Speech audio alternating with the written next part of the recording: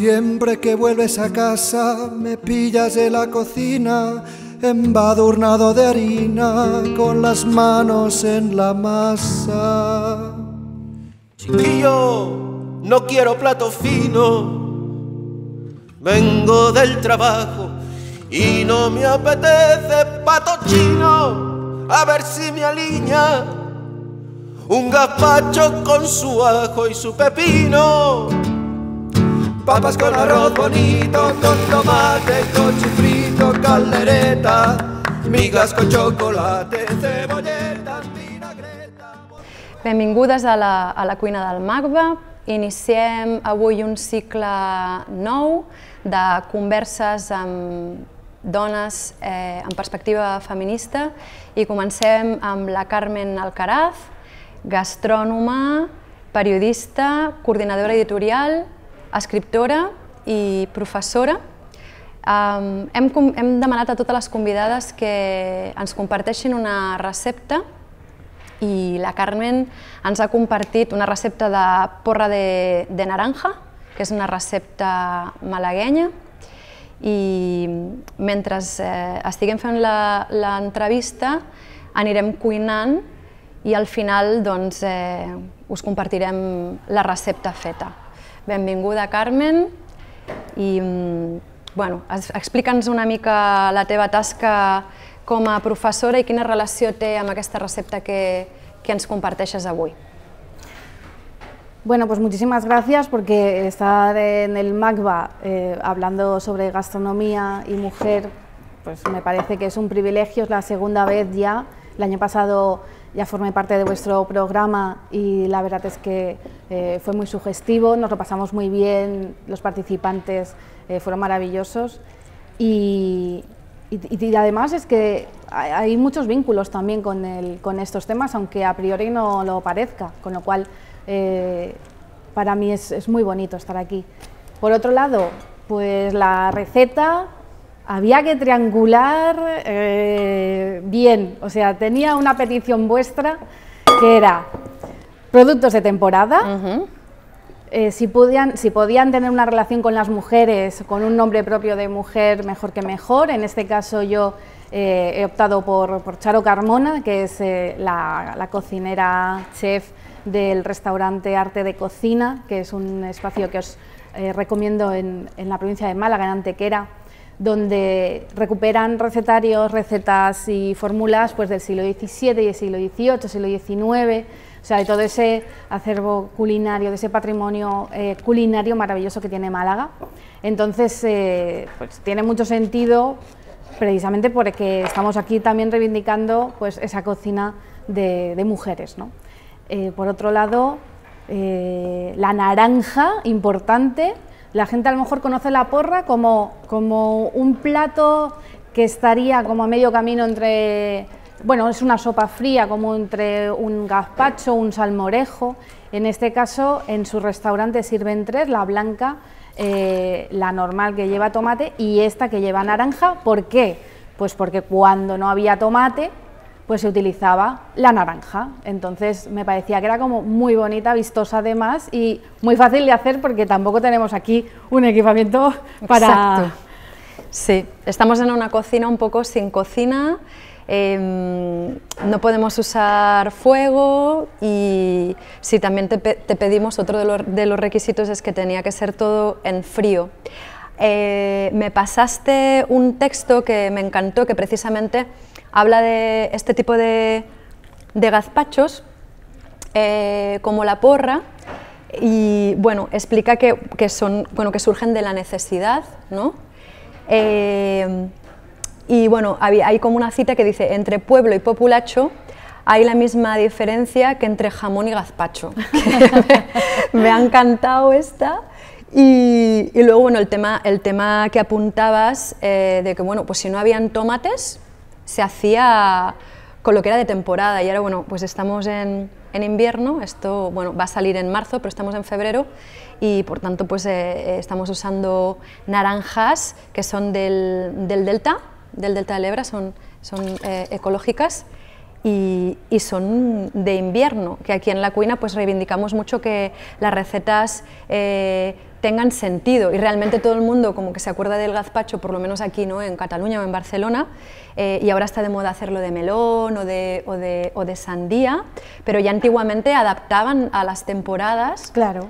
Absolutamente, eh, me parece una receta Es gastronomía estupenda. de la, que, que surge de la necesidad, como tantísimos platos y recetas que tenemos que nacen, que se- están más vinculados a lo que se podría hablar de, de gastronomía del hambre, que no de la ostentación, no del hedonismo.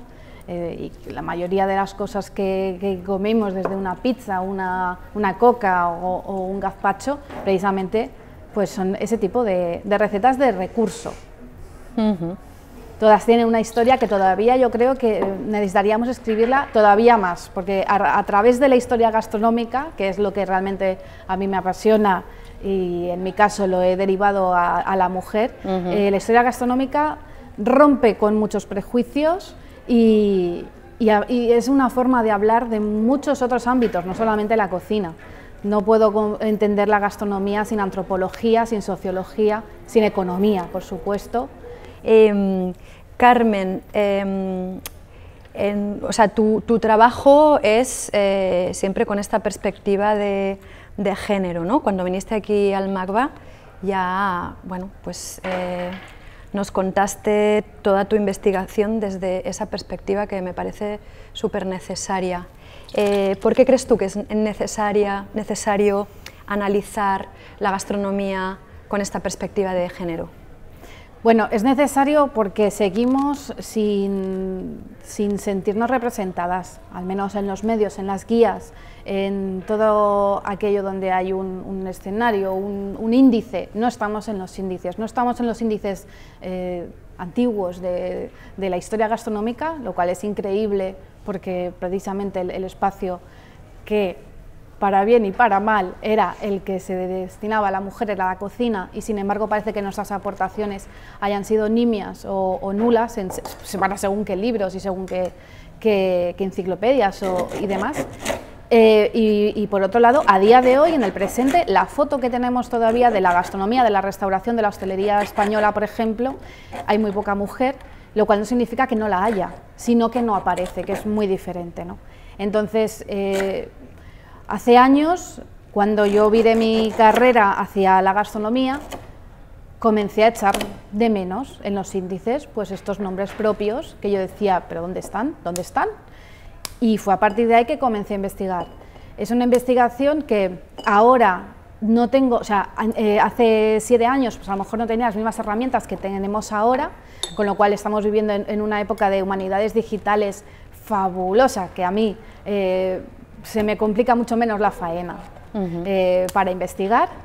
Y, y por otro lado, que también en el 2021 pues hay una conciencia y hay un- unos apoyos que antes no existían, ¿no? Al menos hay una conciencia que ya no te sientes sola cuando hablas de esto, sino que pues eh, nos encontramos entre nosotras y trabajamos en red, eso es muy importante. Este año, pues primera vez en, la- en una universidad española se está, estamos dando eh, la asignatura de Mujer, Historia y Gastronomía y estoy muy contenta porque me da esta oportunidad la Universidad de Cádiz, con lo cual, bueno, pues eh, ya había hablado en, ámbitos universitarios, pero no en una universidad como tal, es decir, yo... so- he hecho ya clases de, dentro de, pues, de, de- de lo que sería sociedad, en- de- dentro de, módulos de periodismo y sociedad, etc., pero para hablar de solamente periodismo gastronómico, así en genérico, que yo siempre acabo, o sea, la, la cabra tira pa'l monte y yo siempre acabo con un caballo de Troya allí y acabo explicando. Pero esta vez me han permitido, no, ha, ha sido ahora... eh, hace muy poquito que nos estrenamos, una semana entera dando contenidos que tienen que ver precisamente con el papel de la mujer. Entonces, para ello, eh, yo siempre digo que es un viaje, para mí ha sido un viaje, porque hay, yo no creo que una persona eh, pueda decir, bueno, ahora ya está, ya soy feminista, sino que esto es una cosa que estamos aprendiendo cada día, creo que, que es un concepto abierto en el que tenemos que, que- que mirar nuestros privilegios y a la vez entender eh, lo que se sigue. Estamos en una plaza viva. Sí. Mira, iba a explicar eh, lo que he hecho mientras Carmen hablaba. Eh, esto es un poco como las manos en la masa, pero un poquito más mm, anárquico. Em, he hecho el, zumo este de naranja, eh, que creo que no es suficiente, porque lo he estado como que la cuina está en, esto, en el contexto este de la crisis global y, ¿no? y, energética y el final de las energías fósiles, pues he traído el, el exprimidor de mi abuela de cristal, pero la verdad que no se me da muy bien y además también para dejarla hablar y, que, no hacer mucho ruido, pero luego las naranjas, eh, bueno, me ha quedado casi nada, de todas formas las vamos a aprovechar, vamos a aprovechar las cáscaras y había traído eh, tres cositas que hicimos cuando podíamos cocinar eh, juntas y compartir y tocarnos, que estaba muy bien.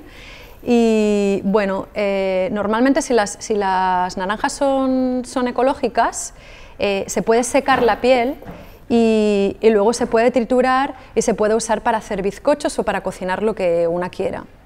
Eh, lo que hicimos también es hacer como un experimento de un tipo de fermentación con, con pasas que está ahí y, y sal también llevaba, y eso como era un poco incomible, eh, sí, porque bueno, es, la cocina es un poco prueba, error y experimentación y así, ¿no? Y nosotras tenemos mucho que aprender aún y que experimentar. Y salió como, sí, mm, raro, Luego lo, usamos para hacer panes, que nos quedaron bastante bien.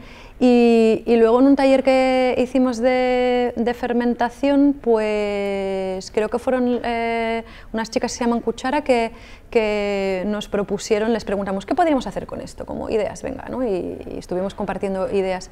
Y decidimos hacer como una, una sal, ¿no? que es súper probiótica, entonces al, una chica creo y luego James creo, Em, se llevaron las cáscaras a, sus terraos y las secaron y luego esto lo trituramos y, hicimos, una, sal súper super rica, ¿no? una, sal probiótica rica y súper aromática. Y otro de los experimentos que hicimos fue una, un detergente también con ah. agua, que es una especie de, sí, también de, maceración de, pieles con, con agua y se hace un montón, por lo menos hace dos años y medio que está. Y es muy curioso porque eh, deja todo el, la, naranja, eh, tiene como unos aceite esencial y, realmente si metes las manos ahí dentro, pues es como, es, es muy aceitoso este aceite, entonces se puede usar como para ponerlo en las lavadoras o, o, para el suelo o para la encimera, realmente no es tan fuerte como, como un detergente, detergente de estos tan tóxicos, pero bueno, como para un poco enlazar, entrelazar mundos, que es lo que nos gusta en, la cuina, ¿no? Y, para también como recordar, ¿no? Volver a pasar por el, corazón la forma esta que tenemos de también de hablar con las invitadas, como cuando viniste, ¿no? Que era como algo muy espontáneo y de ir conectando temas eh, y de ir eh, eh, conectando pues la, teoría con la práctica y los saberes de cada una. Pues mira, esto lo vamos a conectar con el saber doméstico. Estupendo. Porque eh, supongo que, tú como yo estamos hartas de entrar a veces en, revistas, incluso sobre todo del ámbito internacional y tal. Entonces, ahora es como que el Home Economist y se habla de la reutilización, la economía circular y todo se tiene que reaprovechar y simplemente es que lo habíamos olvidado. Nos habíamos olvidado de hacer esto porque el consumo nos ha llevado eh, por otros caminos. Y sin embargo, estos son saberes que vosotras estáis eh, recuperando, pero son saberes eh, ancestrales, ¿no? precisamente. Entonces, esto, para mí, hablar de lo doméstico es la pieza fundamental de lo que yo escribo, de lo que yo investigo.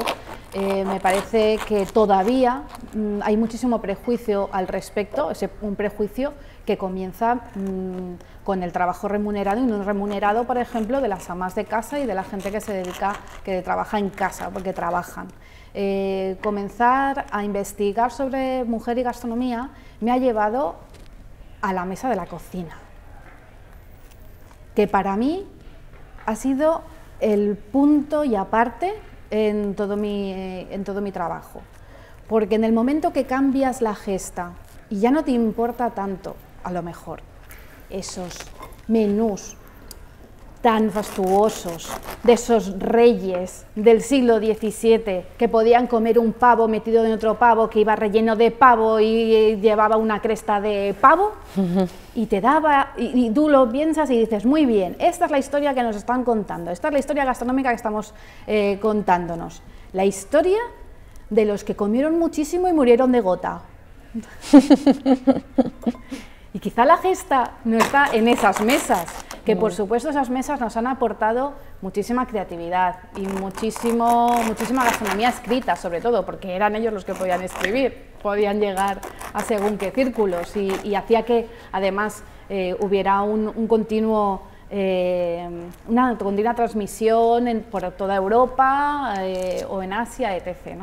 Sin embargo, a mí estos señores que morían de gota, pues pues me interesan lo justito para saber quiénes eran.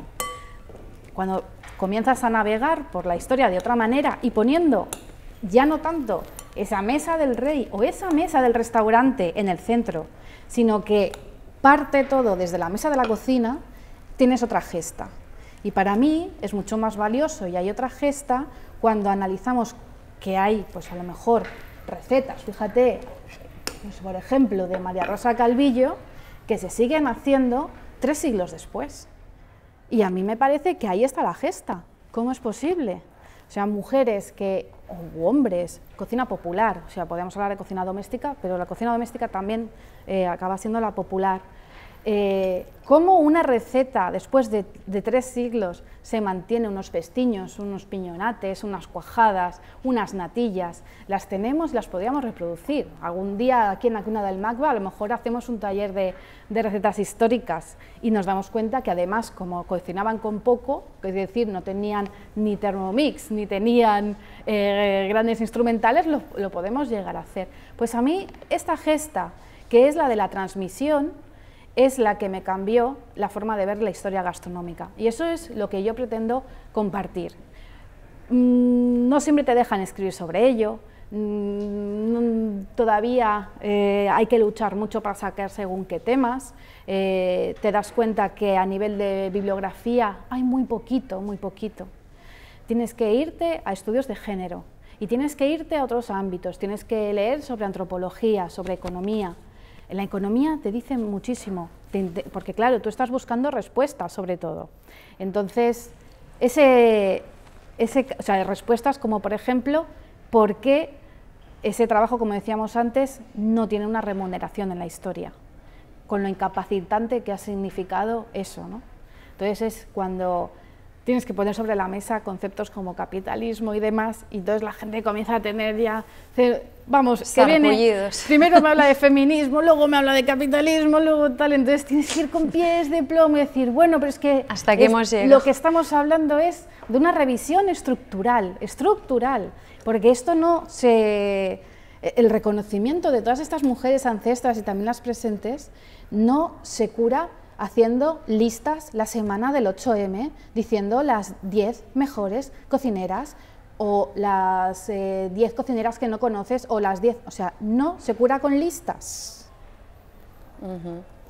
Entonces, bueno, pues eh, no, no, siempre cae bien claro, seguro. Y cuantas más capas le pones, más, ¿no? Está también el tema del antirracismo, o sea, es como todo y está todo bueno, en porque te, haces, tienes que formular preguntas. Yo como periodista eh, creo que la pregunta es un arma, un arma y una herramienta. Entonces, eh, nos fijamos en, en las cocinas, en la restauración y vemos lo que queremos ver. Pero ¿quién cocina en las cocinas? Porque quien cocina en las cocinas se responde entrando en las cocinas y viendo eh, todos los pasaportes que hay ahí, o, ni siquiera pasaportes, y eh, todo el efecto social que tenemos. Es decir, ¿quién te cocina el fricandó? ¿Quién está haciendo tus canelones? ¿Quién? Pues a lo mejor pues un señor pakistaní o una mujer... Mal eh, pagado, explotado, seguramente. Oye, eso, es otro melón que otro día abriremos. Ese es otro, es otro melón. Pero basado en un sistema que ha sido todo menos integrador con la mujer ese sistema. Y por eso la alta cocina ahora mismo tiene que replantearse, porque no es que la mujer no haya sido capaz de estar en la alta cocina, es que la estructura como está hecha no, ha permitido que la mujer esté en ella en todo caso. Pero bueno, seguimos. Sí, ese es otro tema. Eh, creo que cuando viniste nos, nos estuviste mostrando fotos de como de los grandes chefs y sus grandes eventos en donde todo eran señores y bueno, sorprende porque la cocina para bien y para mal con sus violencias, pero han estado como espacio de, mujeres ¿no? y eso hay que ponerlo por encima de la mesa. Me encantaba, ah, antes de que se me vaya, estabas hablando de domesticidad. Eh, y cocina, está este libro maravilloso y esta es una de las invitadas que vamos a tener. Em, que es Isabel Segura Soriano, y, bueno, y nos habla sobre todo de esto de, domesticidad y también de la relación que tiene el, diseño y, la arquitectura de la cocina, eh, cómo luego eh, se encarnan los, roles dentro de estos espacios que están diseñados pues, por, señores y en épocas eh, determinadas. Y mm, hablando de esto, es, bueno, tenemos una, pequeña así, eh, biblioteca que le decimos la cuinateca, ¿no? de la teca de, de, de Manjá, ¿no? y, y, este era uno, uno de los libros, pero también está este de, Carmencita, que, que, fue un libro que tú nos recomendaste en la cuina. Los dos son, fundamentales. Te pedimos, o sea, a cada invitada que viene le pedimos, bueno, que, nos aconseje algún libro eh, que para ella sea importante o que crea que nos pueda aportar, que tenga relación con, con, bueno, con su investigación y has traído un, montón de libros, de He traído un montón de libros y me parece una mesa además preciosa, que además no lo podéis oler, pero huele maravilloso aquí con las naranjas. Hay un perfume aquí entre, entre libro viejo y, naranja. Y naranja. sí. Pues sí, estos libros son libros que eh, no se leen y se dejan, sino que tienes y vuelves a ellos y vuelves como la mayoría de recetarios. En el caso de Carmencita es un recetario barcelonés, escrito en el último año del siglo XIX. Y, y, es un libro que últimamente ya se comienza otra vez a reivindicar un poquito, pero a mí una de las cosas que más me gustan es el prólogo. Bueno, yo he traído uno de mis volúmenes del Carmencita que yo no sé cuál tengo peor y he traído, como veis, que se cae, pobrecito. Es, mucha, es una reliquia. Carmencita o la buena cocinera que mm, encontraremos en muchísimas casas, sobre todo barcelonesas, ¿eh? pero fue un bestseller eh, en todo el estado. Entonces lo escribió la que, o sea, Eladia, que le llamaban viuda de Carpinel, porque eso de las viudas y de firmar como viuda es como las empresarias, ¿no? Pues viuda de. Eso tiene mucho que ver con el tema de los gremios y de, la titularidad para poder continuar y demás. En el tema de recetarios, además, eso de llamarse viuda o llamarse de una manera u otra no es baladí, porque tenemos muchísimos seudónimos que, se, que huelen a la milla, que son hechos de mujeres, pero que por algún motivo eh, que aquí hay muchos, muchos, motivos, eh, no podían firmarlos o preferían no firmarlos. Eh, tenemos seudónimos maravillosos que también prefieren ocultarse, pero todo tiene que ver con la representación de la mujer en el espacio público al final. O sea, es llegar a escribir un libro, tener un recetario, todo tiene que ver con la ocupación del espacio público, que como hemos dicho antes, era lo contrario al espacio doméstico. Esa puerta de la cocina o esa ventana de la cocina era una frontera en, muchísimos eh, aspectos. Entonces, eh, el Carmencita a lo mejor lo tenéis en casa muchos o en, casas de, en la casa de la Yaya y no os habéis dado cuenta. Y una de las cosas más chulas es su prólogo. Está escrito, es súper eh, pequeñito, entonces en el, en el prólogo en realidad es un ejercicio de sororidad, porque ella dice, durante largo tiempo he ido escribiendo y coleccionando multitud de fórmulas. Ella lo que hace primero es justificarse que ella, mujer, viuda, esté escribiendo un recetario y lo publique. ¿no? Entonces, de repente dice, con único fin que sirvieran de alguna utilidad a mi hija, que era uno de, de los propósitos de estos recetarios. Y de repente, pero varias amigas mías sosteniendo, no sé si con razón, que la claridad de las, de las explicaciones, lo bien combinado de ciertos guisos y el exacto cálculo de las cantidades hacían dichas fórmulas de aplicación general que me han animado a publicarlas. Claro, está diciendo, yo no me atrevía, pero ahí las, mis amigas hicieron presión y al final está aquí. Pues mira, Eladia, cariño, eh, siglo XXI y estamos aquí hablando de ti. Y oye, recetas que parecerían incluso ahora modernísimas, eh, si, las, si miráis los índices es increíble.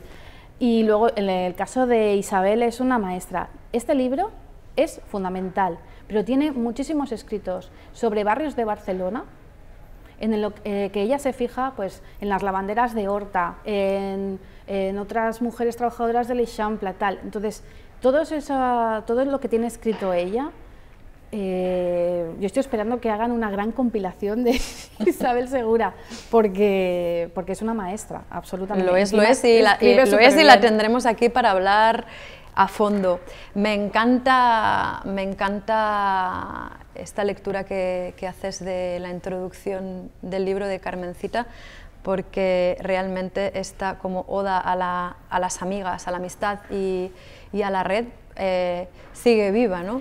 Te pongo otro ejemplo que te va a encantar. sí, seguro. Mira, siglo XVIII, 1740. 1740, María Rosa Calvillo de Teruel. Este libro lo podéis conseguir a lo mejor en anticuarios, eh, librerías anticuarias y demás, porque salió, se hizo muy poquitos ejemplares y desapareció, no han vuelto a reeditarlo, lo cual eh, también dice mucho, porque tendría que estar en, en nuestras librerías.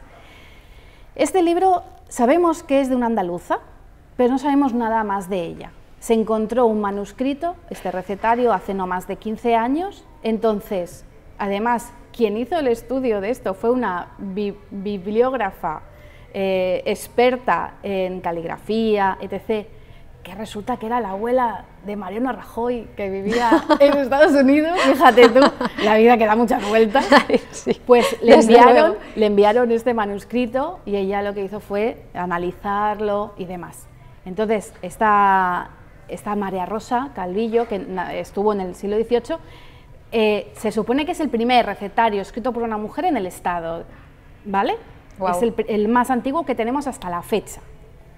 Entonces, hace una cosa que no ha hecho ningún recetario nunca hasta este 1740, que es referenciar las recetas. O sea, tú coges el Sensubi, el libro del Coq o cualquier otro y allí simplemente es eh, eh, la, fórmula y punto. Esta no, esta por primera vez en la historia de España se dice, ¿cómo se hace el cuajado? ¿Qué hizo Antonia? Por ejemplo.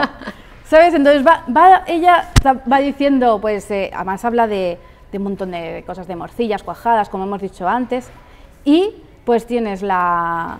va haciendo, hay un montón, ¿eh? A ver, ¿cómo hace el piñonate? María Manuela. Entonces, ese tipo no lo habíamos tenido hasta que de repente una mujer hace un recetario y decide que, claro, ella, pues seguramente cuando ha ido a la plaza, al mercado, a lavar, a donde fuera, pues que le daban las recetas y ella en vez de decir que era suya, pues ella ponía quién la había dado, pues la prima, la vecina, quien fuera o sea, como la vida misma, el, eh, un, reconocimiento que no tendría que ser extraordinario, sino que tendría que estar súper integrado. Pero tú compáralo con otros recetarios que han pasado a la historia importantísimos, que nada por Ángel Muro o yéndote hasta el Sensubí, nada de nada. Entonces tiene que venir aquí una mujer andaluza, sevillana seguramente, y, para sí para repartir un poco de dignidad de tema y de autorías. Em, bueno, haciendo referencia al tema de las cocineras, eh, me gusta mucho, mm, bueno, como toda la investigación que tienes respecto a los chefs y las cocineras y bueno, aunque no me gusta hacer bueno, como tener como posturas súper binarias y tal, pero sí que hay como una cosa un poco de cocineras versus chefs ahí, eh, diciéndolo así muy a, a, lo bruto. Me encanta esta frase que yo siempre que puedo la cito no es que me encanta, me parece mm, horrible, pero, pero como que define mucho esta, tú me la vas a recordar, pero que el chef es majestuoso, no sé qué, no sé cuántas. Ah. Las cocineras son de pueblo, de, la- ¿no? Son, ¿Cómo era? Sí, eso, eso viene de, de- de una noticia De barrio, de barrio, de pueblo y de- de 1954 que os comenté aquí en el Y de MACBA. campo. Sí, Exacto. eso. Eso, es, eso ah, eh, cuando me encontré esta noticia un día haciendo en hemeroteca, no sé qué estaba buscando, y me salió en el ABC, el ABC de 1954 o por ahí, que hablaba de que se habían reunido, el titular era, eh, se reúnen en Washington 200 cocineros para decidir que la mujer no es buena cocinera. Y Increíble. dices, pero bueno, ¿esto qué es? Acompañando esta pequeña nota, mm, el, el- el redactor hacía un texto pues, que defendía que la mujer nunca ha sido buena cocinera. Entonces es una falacia que sirve muy bien porque se sigue diciendo, como yo no veo mujeres en los índices o en las guías, no hay mujeres como no han estado, pero claro, entonces dices, ya, pero ¿por qué no estaban ni en los índices ni en las guías? ¿Quién no las ha puesto? ¿Quién ha considerado que las aportaciones de estas mujeres eh, no estaban? Entonces, eh, lo que tú te refieres, no sé si lo diré yo tal cual, pero era, él decía que la cocina masculina era magistral, Magistral. Y Algo como Ah. intelectual, algo así. sí, intelectual Eran y- como palabrazas y- así. Ay, no, me he quedado en blanco, ya me saldrá. Y sin embargo lo, lo, eh, contraponía con justamente lo que tú acabas de decir, que la mujer, la cocina de la mujer era de barrio, de campo y De barrio, de campo y de, lo he dicho antes, bueno, y de pueblo. Y de pueblo, ¿no? Bueno, y también como si eso fuera como malo, no sé. Claro, claro, Quiero decir, esa con es mucha otra, honra. Esa es otra, es que lo lees y dices, bueno, pues sí, pues claro. Sí, claro, y, y claro que ¿Qué sí. problema Y- hay, sí. no? Pero, Pero bueno, es una comparación hecho- ostentosa y... Sí, de encontrar que, pero esto claro, lo hemos visto en otros campos, o sea, en el arte, por ejemplo, se ve también, ¿no? Pero eso significa que hemos tenido esa eh, comedura de tarro durante siglos, pero bueno, ese, ese ya es del siglo XX. ¿Y cuántos libros tenemos que hablan de la mujer como ángel del hogar y que no puede salir más del círculo doméstico y que su tarea es tener a su marido contento y ta, ta, ta, ta, ta, y que cocinar tiene que ser? Y eso se transforma muchas veces, o sea, eh, hay mucha violencia en ello. ¿eh? Eh, cuando estudias, por ejemplo, el American Way of Life, los años 40, esas cocinas eh, de Donald Draper, ¿no? de Mad Men, algunas de ellas las menciona también Isabel, pero cuando tú comienzas a mirar la representación en publicidad, todo eso que recibían las mujeres, que la cocina tenía que sentirse una, vamos, o sea, con esos colores pasteles, tenía que ser entonces comienzan a decir las cocinas que en otra época eran como lo peor de la casa o, o, bueno, pues un- un hogar en mitad del, ¿sabes? O sea, que era de repente son una fantasía multicolor y tutti frutti. Y eh, tienes que estar perfecta. Y en la publicidad lo vemos. Yo creo que aquí también la cuina Tienes que ser rubia, ¿no? Tienes que ser estupenda, Rubia, rubia, delgada. unos taconazos. Se- con vosotros, por ejemplo, os expliqué que había, había hecho obviamente. la investigación de Barbie. Ajá. No sé si te acuerdas que os expliqué que, Quizás sí. que, que había estado buscando a Barbie Chef en todo, toda la historia de Barbie y que no la encontré hasta 2017. No me digas. O sea, había Barbie cocinera, había Barbie eh, pastelera en su casa, ¿sabes? O sea, especializada en cupcakes. eh, Pues Carmen, para ir acabando, que ya tengo aquí el jugo de naranja con todo el pan este, eh, un pan de días que tenía en casa, que tenía diferentes tipos. Eh, me acuerdo de cuando viniste a la cuina que nos hablaste de la video performance esta de Marta Rosler tan, tan chula y me gustaría que nos conectaras un poco la conexión que ves entre el arte, el feminismo, eh, sí, la, la cocina en general y también, bueno, nos hablaste sobre el papel un poco de, de la genialidad, ¿no? del, del hombre, de la genialidad y de los chefs, etc. No sé si de alguna manera nos puedes hacer como un pupurrit. eh, Se resume en que el arte me ha abierto muchísimas puertas para entender eh, la historia gastronómica. Por eso, al principio de la charla, Marina, para mí por ello estoy aquí, vamos, encantada, ¿no? Precisamente eh, mm, el, vídeo, la performance que, hizo en su momento Marta Rosler, que yo vengo aquí homenajeando también un poco, porque es un delantal bastante parecido al suyo, que es además una obra que está aquí, forma parte de la colección permanente del MACBA, eh, pero que también la veréis referenciada siempre en un montón de, libros, de crítica feminista. Eh, yo creo que el MoMA también tiene una copia, eh, etc. Entonces, es, es, muy potente porque es ella, en un momento dado en el que la cocina televisada estaba en pleno auge con Julia Child en Estados Unidos, en el que coge, va cogiendo instrumentales de la cocina y de forma alfabética los nombra y los siente, los toca, eh, coge un tenedor, mm, pincha el aire y hay muchísima violencia contenida en eso. Eso del alfabeto que además eh, creo que, a ti te conecta mucho porque eh, acabas de escribir un libro justamente bajo esa perspectiva. ¿no? De... Coescribir también con muchas amigas, como Carmencita, y con el apoyo eh, y, sí, y, el poder de, las amigas y algún amigo también. Pues a mí eh, pues el arte me abre puertas porque además yo me había especializado en humanidades en arte y tuve unas profesoras en la Pompeu Fabra potentísimas que me cambiaron la forma no solamente de ver eh, la historia del arte, sino el mundo. Es decir, yo entré al feminismo eh, por el arte seguramente gracias a, todas ellas. ¿no? Entonces, cuando yo comienzo en la gastronomía y comienzo a, abrir libros y no las encuentro, como habíamos dicho antes, en mi cabeza estaba Linda Nochlin, que es una de las grandes teóricas de, las que construyen la crítica feminista en los años 70.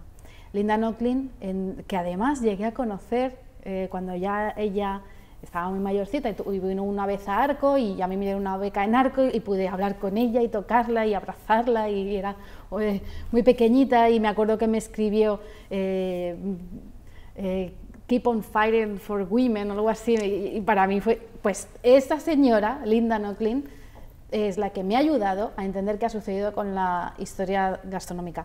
Eh, fíjate que la gastronomía y el arte siempre han ido muy de la mano, porque eh, parece que los cocineros han mirado mucho la terminología del arte, ¿no? Entonces, mm, no solamente vayamos a abrazar conceptos y ya está, ¿no? sino que eh, aparte de hablarte de tortillas deconstruidas, pues cojamos la crítica feminista del arte y llevémonosla a, la gastronomía, que es lo que a mí me ha ayudado.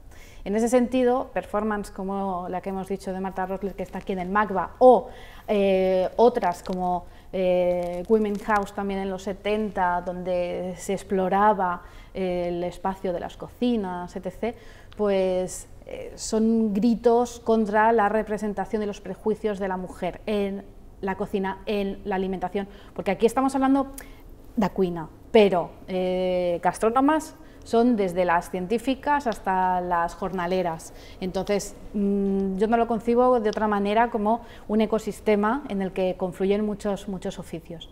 El arte, además, me permitió eh, encontrar testigos de lo que muchos libros eh, pues era más opaco. Yo me he ido a Historia del Arte y en muchísimas escenas domésticas o catalogadas como domésticas o costumbristas, pues me he encontrado cocinas que eran realmente profesionales, que no eran doméstico como tal, sino que en vez de ser restaurantes eran grandes casas que tenían sus sirvientas, sus, eh, cocineros, cocineras, etc.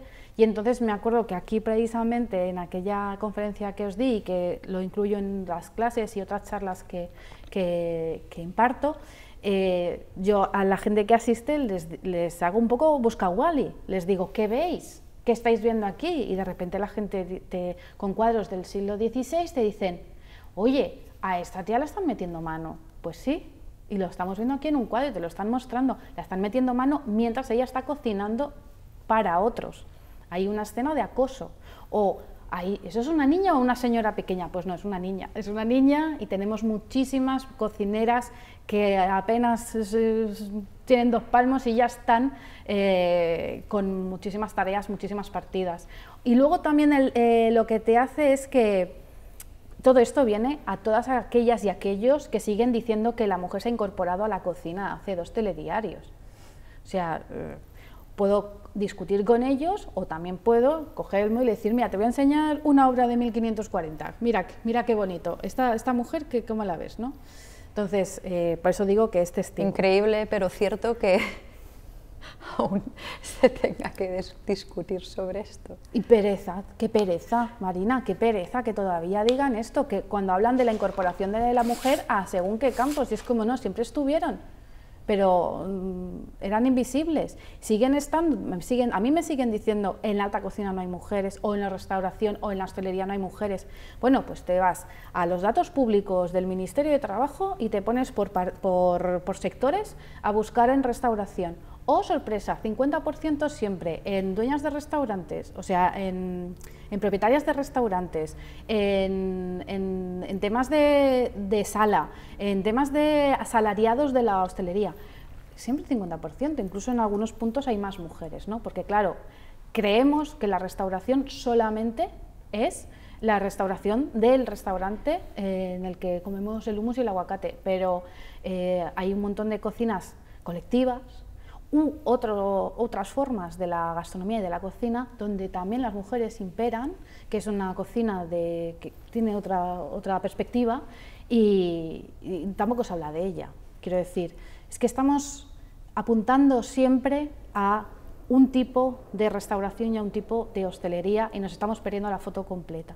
Entonces, bueno, eh, en resumidas cuentas, el arte a mí me ha ayudado a, a crearme, a componer esa, esa foto completa y a, y a tener herramientas para investigar. Para ir acabando ya y volver a la receta, mm, me encantaría que nos hablaras de, recetarios. Al recetario, esto lo resumo, es un proyecto muy bonito que tengo con otras compañeras gastrónomas del Estado, somos cuatro, dos de Madrid, una del País Vasco y yo, que eh, desde hace un añito y poco eh, estamos intentando que llegue nuestra voz y a ver si también nos ayudáis vosotros desde aquí para encontrar recetarios domésticos. Aquello que decíamos de que para mí la gesta comienza en la mesa de la cocina, porque hay mucho todavía que decir de las mesas de la cocina, porque han sido despachos de la historia. Yo los concibo como tal. Eh, Haciendo este ejercicio de buscar los recetarios domésticos, estamos eh, abrazando un tipo de cocina, pero también eh, papelillos que la gente no ha valorado y que han tirado. ¿Cuántos recetarios, cuántas recetas, cuántas fórmulas se habrán tirado? Manuscritas, etc. ¿Por qué? Porque, bueno, porque era una instrucción o se consideraba una instrucción, cuando en realidad hay una semiótica que yo creo que es interesante de que comencemos a hablar de ella. Los recetarios nos hablan, como hemos dicho antes, de antropología, de economía, nos hablan de viajes, de migración, los recetarios tienen muchas historias todavía que tenemos que saber leer entre líneas.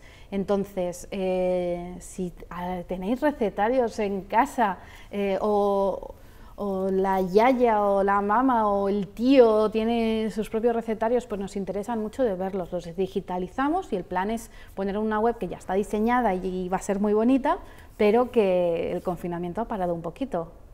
Con lo cual, bien, eh, esperamos que en esta primavera pues os la podamos enseñar y que la gente participe. Pues tenemos muchas ganas de, ver esos recetarios. Yo de hecho ahora me he acordado de, mi tía Susi que le pedí una receta de, para hacer aceitunas eh, para el libro este que estoy haciendo de recetas y me dijo, me envió una foto preciosa, así como de su receta de hacer aceitunas a mano. Me dijo, pero tiene muchas faltas de ortografía, porque claro, o sea, está en catalán, pero como que recibí pues la educación franquista, eh, pues mi catalán está lleno de faltas y me dijo, tú lo corriges y, y, tal, y dije, no, no, o sea, ¿qué pasa? ¿Que la sabiduría no puede tener faltas de ortografía. Nos ha sucedido ¿o desde el, desde el minuto uno. Lo que estás diciendo es súper, súper acertado con lo que nos ha pasado. Desde el primer encuentro, porque el primero lo hicimos en La Rioja y nos venía la gente con los cuadernillos y tal. Y desde el primer momento, o sea, recuerdo un señor que nos trajo un cuaderno precioso además y nos dijo, ay, pero me da un poquito así como de cosica porque está lleno de faltas. Y nosotras dijimos, no, no, no, no, aquí no hay faltas. Y os lo digo yo que también gano la vida corrigiendo como correctora de, eh, de estilo. ¿eh?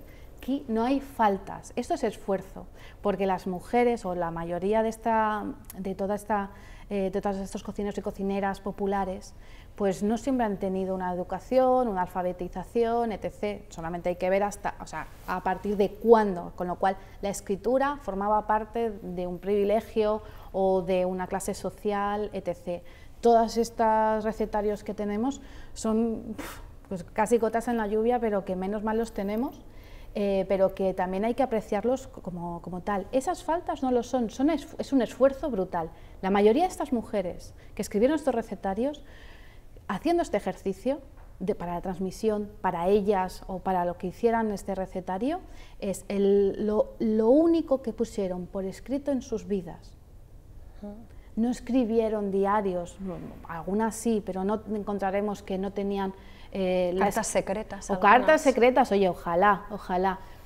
Lo que quiero decir es que son eh, la única manifestación escrita de muchísimas mujeres de la historia y es para transmitir sus fórmulas, sus ingredientes, sus recetas, muchas veces también sus mochilas, las mochilas de, de la historia de, fíjate, en los recetarios hablamos de la identidad de una misma, de la identidad de tu familia, de la identidad de una comunidad y muchas veces la identidad de un país que has dejado. Con lo cual, estos papelillos que están considerados efímeras, en realidad nos abren una puerta a una narrativa femenina que pues pocas veces se ha explorado todavía. Claro, y la cuestión es que, bueno, cuando hablabas de formación, no tuvieron una formación, eh, digamos, formal, pero sí que estaban formado- formadas en el sentido de que había una formación o no formación, pero mm, había una pedagogía de los gestos, de los aromas, de los tiempos, ¿no? Esta, esta receta, por ejemplo, la estamos haciendo al ojo por ciento. Hay una mujer en la, en la cocina que siempre dice, al ojo por ciento, ¿no? Ay, me Y otra- encanta. Otra, otra dice, al eh, ojímetro, ¿no? Al O sea, ojímetro, al ojímetro. Entonces, lo que te ahí- pida, ahí, la claro, miajita, lo que exacto, tú veas, es exacto, una forma, forma parte de, una, de otra ciencia. Exacto. Otra ciencia, otra forma de entender la ciencia culinaria. No te podrán, eh, no te pondrán un agar-agar, una chantana, pero te cogerán una manzana y sabrán que poniendo la peladura de una manzana vas a hacer que espese de una manera esa crema o, o esa preparación. Y que Es seguramente decir, tiene mucho más sentido en el territorio, seguramente, en muchas ocasiones. Hombre, y tan, y tan, efectivamente. Y con la Con lo economía cual, y con todo, ¿no? Es una discusión que he tenido muchas veces, la que me estás Es ahora larga. diciendo, uy, mucho, pero oye, eh, esa otra ciencia no falla y si ha fallado, generación a generación se corrige. Y es una ciencia que no se adquiere en las escuelas, se adquiere ciencia. en la mesa de la cocina, se adquiere, como muchas hemos hecho, haciendo los deberes toda la vida en la cocina, en la mesa de la cocina o en, el salón, pero viendo a tu madre pues eh, cribando las lentejas o chasqueando las judías. Y es un, se va adquiriendo con el tiempo. Hace poco discutía con mi amigo pastelero Paul Contreras eh, sobre la ciencia de los tres olores. Yo estoy en mi casa pum, ya sé por dónde va el guiso, a cabo de un rato, pum. La tercer olor, el, el tercero ya me dice que tengo que irme para la cocina. Es decir, no tengo uno de estos huevitos que va eh, girando y de repente me dice el tiempo. Es Tienes que algo mucho mejor, que es la intuición. La intuición y la seguridad de que eh, a partir de ese olor ya todo cuesta abajo sin frenos. Bueno, Con estás lo cual, segura, vete para la cocina. Estás segura de tu intuición, algo que también que se nos ha arrebatado muchísimo, Sí. la intuición. Y luego me, me gusta mucho eh, que hables de, de ciencia, porque realmente es una ciencia Sí. a prueba de, de prueba-error. No sé, de- ahora no recuerdo, pero mm, de alguna cocinera lo leí hace poco, eh, el tema de que realmente eh, la cocina de casa es ciencia, porque si hay o sea, un arroz servido, por ejemplo, eh, la maestría de hacer bien un, arroz servido, es que igual lo has hecho millones de veces y sabes cómo el agua, ¿no? la cantidad de agua a ojo por ciento que le tienes que poner cuando estás pesando, el punto de, de la sal, el ajo, ¿no? es como perfecto y para llegar a ese momento realmente la primera vez que haces un arroz no te sale de esta manera, o sea que vas como probando, probando, probando, te equivocas, ¿no? Eh, y, y, empieza como a salir ese como el punto, ¿no? De, ¿Sabes qué te dice normalmente? Es que está hecho con amor. Mira, el, el amor, el amor, de eso hablaremos otro día, porque me enciendo con el amor. Sí, sí, amor.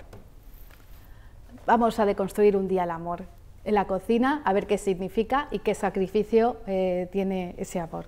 Bueno, el amor y el, y el, sacrificio, digamos que culturalmente también están muy asociados. Aunque yo creo que, bueno, esa es una discusión porque tiene, Otro tiene día. sí, porque también encuentro que es un, ingrediente importante, pero sé por dónde vas y estoy completamente de acuerdo contigo.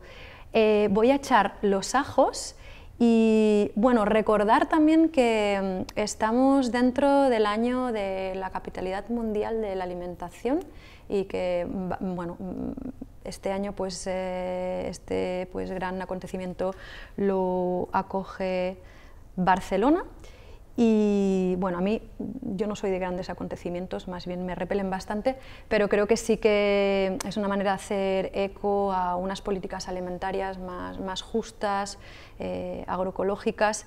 Y bueno, quería mencionar que también estos estas charlas que vamos a tener con vosotras están enmarcadas dentro de este, ¿no? de, este, este, este, acontecimiento, este evento, de todas las actividades que se van a hacer y que eh, próximamente pues, eh, hablaremos con otras invitadas pues, desde perspectivas feministas, pero desde otros lugares, pues vamos a hablar de, transfeminismo y desde una perspectiva del, veganismo popular, luego vamos a tener también a, a una pastora que también nos hablará de ecofeminismo, eh, vamos a tener la, la, Clara Isabel Segura, que nos hablará más pues, de, diseño y del proyecto ¿no? Eh, de, domesticidad eh, y de arquitectura y de las, ¿no? como las diferentes tipos de Barcelona y, también nos gustaría eh, como extenderlo también igual poder hablar eh, quizás de, de, semillas y de, todas las violencias también eh, racistas y todo el extractivismo ¿no? y, el, sí, bueno, y el sistema colonial relacionado con la, con la cocina. hoy ha sido como ha sigut el primer tast, hem, hem parlat així bueno, amb, amb la Carmen em surt el castellà perquè la miro els ulls i llavors doncs venga, no? I, i, i ha sigut així com una cosa així més, bueno, eh, xarnega, no? de, que, que som de barris populars de, de Barcelona, eh, les dues, i, i barregem no? com el català i el castellà així, xarnega Montré, eh, dic. I, I crec que, Carmen, tu que has menjat aquesta recepta, Uh, igual et, et proposo que puguis fer l'emulsió aquesta. Jo et passo, en comptes de, de posar-li sal, eh, nosaltres a la cuina utilitzem eh, aigua de mar, eh, vam tenir com una associació que ens van, que es diu Aquamaris, que promouen molt el tema de l'aigua de mar, des de la gratuïtat, i, i realment bueno, ens van explicar que realment eh, l'aigua de mar té moltíssimes propietats i que la podem fer servir a la nostra cuina i llavors este, passem este a fer... ingrediente, claro, no es de Charo, no. Mm, es aportación tuya, Eh, si sale mal ya sé de qué manera Podría ser de Charo, igual Charo también lo usa. se lo, se lo Pero bueno, aquí es que lo nuestro es hackear y yo es que a Charo no la conozco mucho, pero vamos, en la receta que me pasaste eh, pues estaba eh, el ingrediente sal y más o menos aquí hemos puesto como, no sé, como unas eh, seis naranjas, eh, unos chuscos de pan, que serían como media barra de pan. Nos ha sobrado un poco, con esto también haremos alguna cosa. También mencionar que, bueno, pues para la gente que es alérgica al, gluten o, bueno, pues que pueden usar los panes que les vayan bien. que el pan pues con masa madre mejor, si se hace en casa mejor, etcétera, etcétera, que el, el pan pues que no es ecológico y la harina blanca es muy mala para la salud, pero bueno, lo hemos reciclado y es una receta de, de aprovechamiento.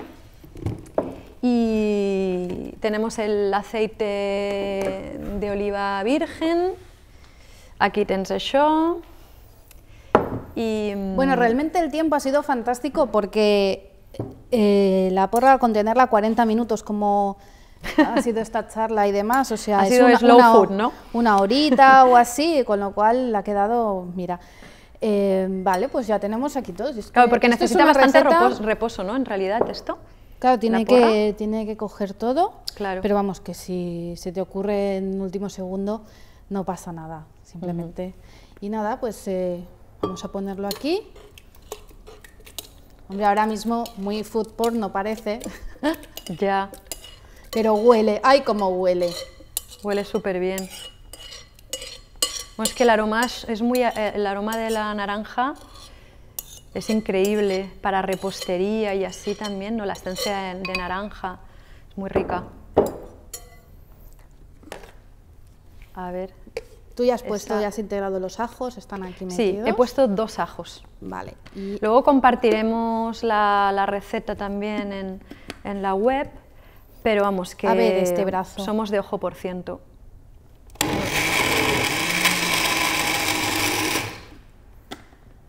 Lo que voy a hacer es hacerlo poquito a poquito, igual que si hacemos una salsa necesitamos emulsionar, con lo cual la voy a hacer aquí. Supongo también que tradicionalmente se haría con mortero esto. Hombre, claro, ujú, cuando no había todo, todo las, bueno, todos los gazpachos y demás, el mortero, instrumento desde el neolítico hasta el día de hoy. Que Fantástico. era, era, bueno, por un lado supongo que los ele- eh, el tema este de los electrodomésticos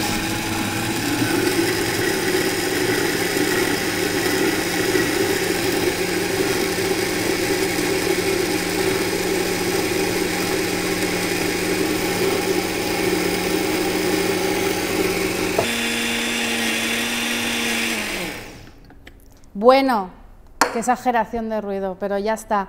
Eh, la cuestión es que el aceite lo ponemos, lo vamos añadiendo igual que hacemos para para Con un aioli, un ¿no? por ejemplo. Claro, decía con el tema de los electrodomésticos que también, o sea, a nivel como de, sí, de, de hacer prácticas que son más respetuosas con el medio ambiente, pues lo del mortero es ideal. Aquí lo hemos hecho así, pero también está todo este tema de, bueno, que en algún momento histórico, pues que ele- electrodomésticos también, pues, eh, pues ayudaron a, ¿no? a que, bueno, como a no tener tantas tareas en, en la cocina tan duras. Em, La tecnología mujeres, la entró por la, tecnología. la tecnología en las casas durante una época entraba siempre por las cocinas, antes que por otros. Ahora ya no, pero antes sí. Ese también es un temazo del que se podría hablar. Yo creo que igual con, con Isabel también podemos hablar de, sobre, sobre esto. Y si ponemos un poquito de esto maravilloso que hicisteis en vuestro... Pues ¿por qué no? Se pueden poner también gajos de, de naranja, pero bueno, ya no tenemos gajos. Y, y bueno, también se puede, decían que se puede añadir huevo duro, y, O pero vamos, hoy lo hacemos receta, eh, hoy sí que la hacemos vegana. Encima. Sí, que quedará, quedará súper bien. Qué bonita, ¿no? Y, y huele de maravilla. Pues Carmen, para acabar, para acabar del todo, has venido con este mandil estilo Marta Rosler. Y Totalmente, ella terminaba este- así, ¿eh? Sí, tienes este, este poema súper chulo que me pasaste, que es como una oda o un tributo, un homenaje al mandil, y que quizás podrías leer un trocito si te apetece. Vale, saco el móvil. Nunca lo he leído en voz alta. Bueno, seguro que está bien.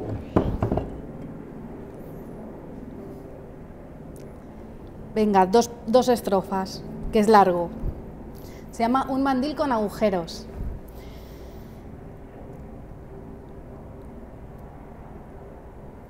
Nadie negó que fuera fácil, tampoco nadie reconoció el mérito. Contrato de mieses, maletín de grava, despacho de nubes y miel de, de romero.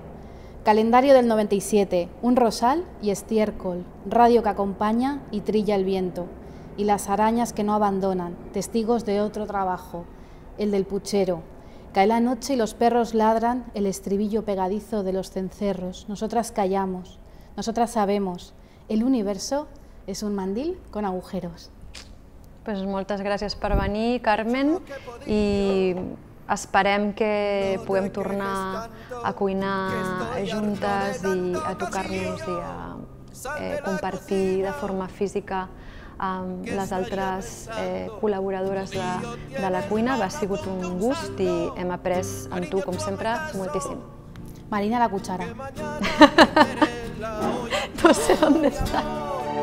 Sopa de galets i galtes, alliol i cansalada, caldereta, escudella i esqueixada. I demà aniré a la plaça a comprar llores pel romesco, quatre maires, pel suquet i una mica de julivert.